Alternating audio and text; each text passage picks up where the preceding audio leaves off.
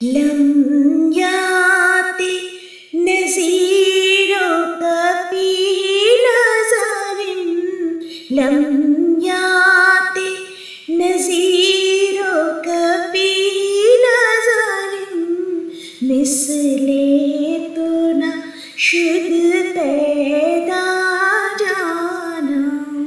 अस्सलाम वालेकुम। क्या हाल है आप लोगों का? ठीक ठाक है, खैरियत से हैं। उम्मीद करती हूँ रमज़ान आप लोगों का बहुत अच्छे तरीके से गुजर रहा होगा। आज की रेसिपी रेसिपीज़ मैंने कहा आपके साथ शेयर कर लूँ कि हम लोग क्या क्या बना रहे हैं। सिंपल चीज़ रोल है, जो आज मैं बनाने जा रही हूँ। उसके लिए सामान मैंने यहाँ पर रख लिया है। सबसे पहले आप ले लीजिए एक बोल बोल में आप ऑल पर्पस फ्लावर ले लीजिए, नमक ले लें, अंडा ले लें यीस्ट ले लें ऑयल ले लें और शुगर ले लें, दूध ले लें और नीम गर्म पानी और नीम गर्म दूध ले लीजिए। अब ये तकरीबन एक गिलास है नीम गर्म दूध। वो डाल लीजिए। फिर नीम गर्म पानी है, वो एक गिलास मिक्स कर लें इसके अंदर। फिर ऑयल है, ये तकरीबन आधे से थोड़ा सा ज़्यादा ऑयल है। एक्स्ट्रा वर्जिन ऑलिव ऑयल था, वो मैंने इसमें डाला है। फिर दो चम्मच इसमें मैंने शुगर डाली है। फिर एक छोटा साशे एक छोटा पैकेट जो है यीस्ट का, वो इसमें मिक्स कर लिया है। अच्छे तरीके से इसको मिक्स कर लीजिए, बहुत अच्छी तरह से। मिक्स करने के बाद ऑल पर्पस फ्लावर है, वो मिक्स कर लीजिए। ये तकरीबन मैंने लिया है पाँच कप पाँच से साढ़े पाँच कप फ्लावर लिया है मैंने। आहिस्ता आहिस्ता इसको मिक्स कर लीजिए।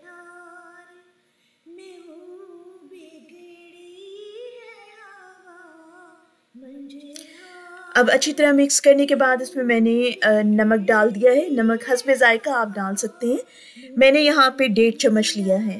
वन एंड हाफ़ स्पून नमक का। अब मिक्स करने के बाद इसको फिर हाथ से गूंद लीजिए। ज़ाहिर है ये मैदा है। आटा तो है नहीं। आटा ज़रा आसानी से गुन जाता है। लेकिन ये हाथों में चिपकता है। इसके लिए आप हाथ में जो है ऑयल लगाते रहें। थोड़ा थोड़ा ऑयल हाथ पे लगाते रहें, उस, उससे ज़रा आसानी हो जाती है इसका डो बनाने में।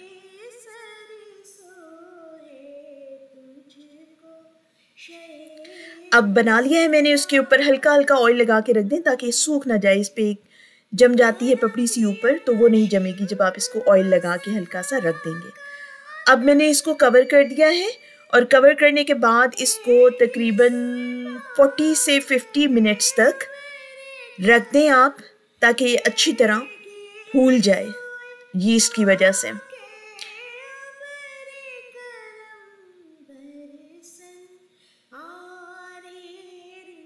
अब तकरीबन 40 मिनट गुजर चुकी हैं, उसके बाद मैंने इसको निकाल लिया है और अच्छी तरह से हाथ से मिक्स करके इसको, इसकी जो एयर है वो निकाल लीजिए और एक दफ़ा फिर इसको हल्के तरीके से गूंद लें।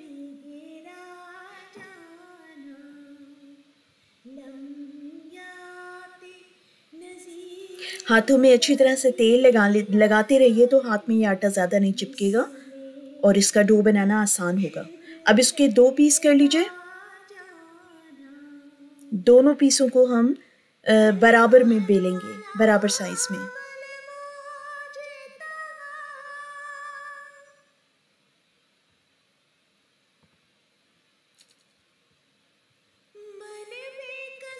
अब एक पीस साइड पे रखकर एक पीस को पहले बेल लें पहले हाथों से इसको अच्छी तरह से फैला लीजिए। तकरीबन ट्रायंगल शेप का इसको इस तरह से बना लीजिए हाथों से।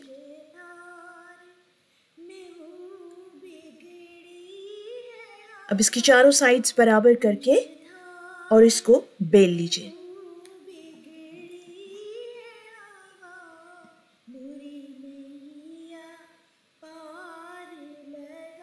इतना बड़ा इसको बना लीजिए। अब इसकी हमने फिलिंग करनी है। साइड्स अगर ज़्यादा बैलेंस में ना हो तो फिर उनको पिज़्ज़ा कटर से आप काट लीजिए। इस तरह से ये सही तरीके से बराबर हो जाएगा। इसमें फिलिंग आप किसी भी किस्म की कर सकते हैं। बहुत सारी फिलिंग्स इसमें की जाती हैं। अपनी पसंद से वेजिटेबल कर लें चिकन कर लें कीमा कर लें कुछ भी डाल सकते हैं आप। तो मैं आज बिल्कुल सिंपल सा आ, ये चीज़ रोल बना रही हूँ। ज़्यादा मैंने इसमें फिलिंग नहीं की है। अब ये देखिए कैचअप मैंने इसमें स्प्रेड कर दिया है।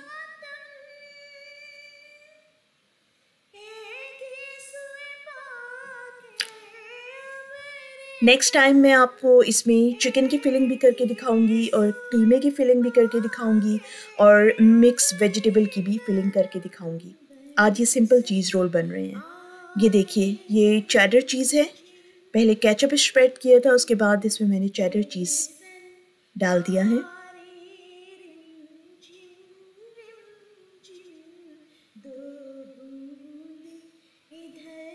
अब जो पहले आपने पात इसका बेल के रखा था, उसको इस तरीके से इसके ऊपर रख दीजिए। बाद में इसको मैंने कटर से कट कर लिया और बैलेंस कर लिया, बिल्कुल।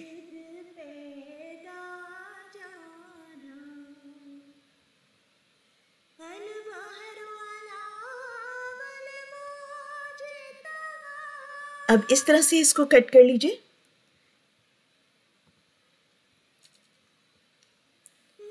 इससे थोड़े पतले आ, कटिंग करनी होती है लेकिन मैं पहले आ, चौड़े कटिंग कर रही हूँ ताकि मुझे उसको बारीक कट करने में आसानी हो।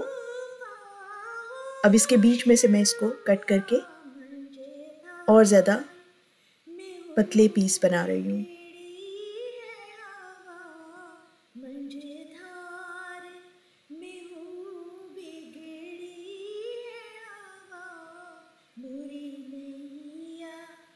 अब इस तरह से बीच में कट कर लीजिए। स्टिक की मदद से इसको प्रेस कीजिए एक पीस को, ताकि इसके अंदर जो फिलिंग है चीज़ है, वो थोड़ा और बाहर की तरफ़ निकल आए। ये देखिए, ये मैंने बना लिया है। अब एक के ऊपर एक रख के इसको ट्विस्ट कर दीजिए।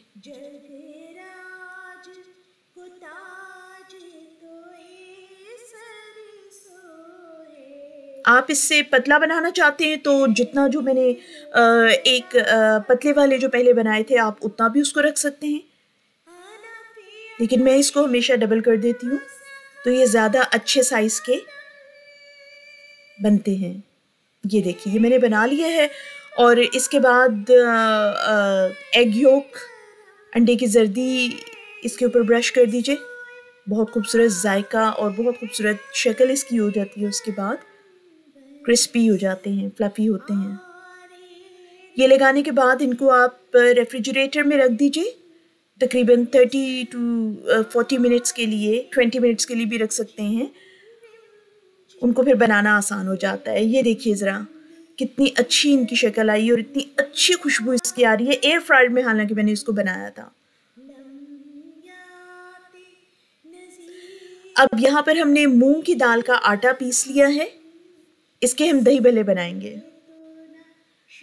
अच्छी तरह से इसका पाउडर बनाइएगा, आटा अच्छी तरीके से पिसा हुआ हो। इसमें अब आधा चम्मच बेकिंग सोडा मैंने डाला है। बेकिंग सोडा डालने के बाद इसको अच्छी तरह से मिक्स कर लीजिए। इसकी कंसिस्टेंसी बहुत अच्छी होनी चाहिए, ना ज़्यादा थिक ना ज़्यादा पतली, ताकि इसके पकोड़े जो हैं वो अच्छे अच्छे से बने, अच्छी शक्ल में बने रनी ना हो जाएँ। ज़्यादा रनी हो जाएगा तो फिर पकोड़े अच्छे नहीं बनेंगे इसके।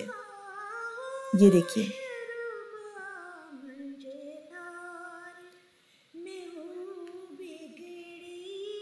अब थोड़ी देर रखने के बाद इसको जब ये ज़्यादा गाढ़ा हो जाएगा तो उसके बाद इसके पकोड़े बना लें गरम तेल में।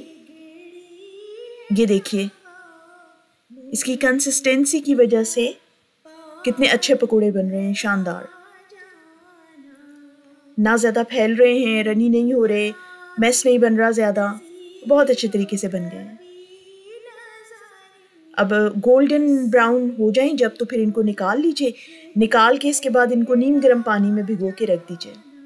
तकरीबन आधे घंटे या एक घंटे तक तो इनको भीगा रहने दीजिएगा। देखिए कितना अच्छा रंग आया है इसका।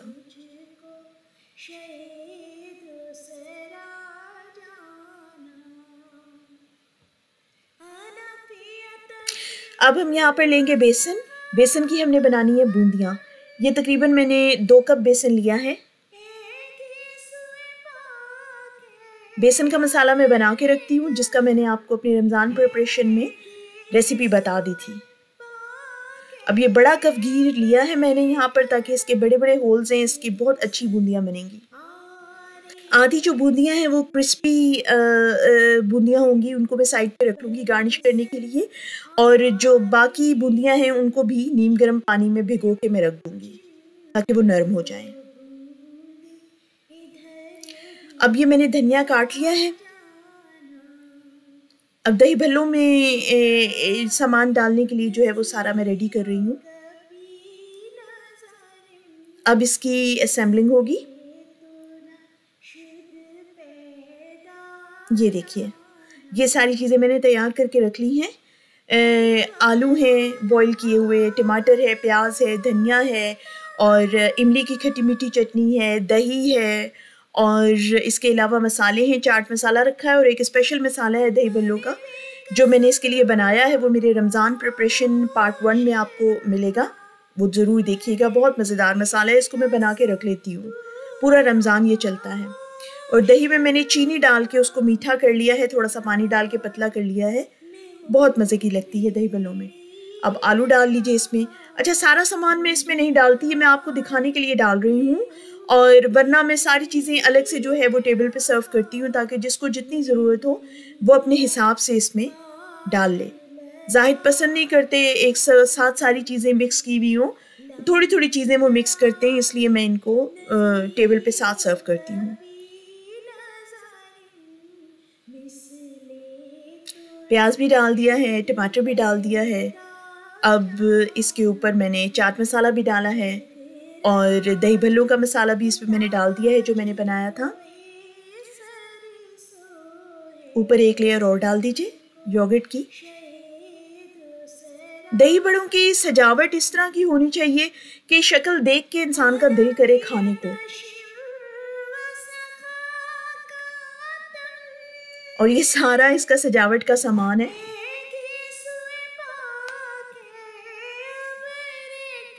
ये देखिए। अब इसके ऊपर मैं चटनी डालूँगी, इमली की। ये खट्टी मीठी चटनी है। इसकी रेसिपी भी मैं आपको डिस्क्रिप्शन बॉक्स में नीचे लिख दूँगी। चटनियों का मेरा अलग से ब्लॉग बना था, उसमें मैंने डिफरेंट किस्म की चटनियाँ बनानी सिखाई थी, वो आप ज़रूर देखिएगा।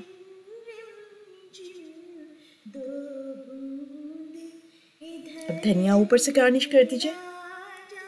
शक्ल देखें कितनी खूबसूरत लग रही है इसकी। और माशाल्लाह खाने में भी ये बहुत मज़ेदार आपको लगेंगे। एक दफ़ा ट्राई ज़रूर कीजिएगा इस तरीके से। ये देखिए जी ये तैयार हो गए इनकी खुशबू पूरे किचन में फैली हुई है। और आ, मैंने मेल्टेड बटर जो है इसके ऊपर ब्रश कर दिया था। इसकी वजह से इसका मज़ा और दुबाला हो गया था। हमारी इफ्तार तैयार हो गई है आज की। और दही भले भी तैयार हैं, पकोड़े भी, समोसे भी और चीज़ रोल भी तैयार हो गए हैं। सब चीज़ें माशाल्लाह बहुत मज़ेदार बनी थी और उम्मीद करती हूँ आप लोगों को मेरा आज का व्लॉग अच्छा लगा होगा। अगर पसंद आए तो लाइक कीजिए शेयर कीजिए और सब्सक्राइब कीजिए मेरा चैनल और मुझे कमेंट्स में ज़रूर बताइए कि आपको आज का मेरा व्लॉग कैसा लगा। और नेक्स्ट जो मैं अपना इफ्तार का व्लॉग बनाऊँगी, तब तक के लिए मुझे इजाज़त दीजिए और दुआओं में याद रखिए। अल्लाह हाफिज़। मैं हूँ बिगड़ी है मुरी नैया पा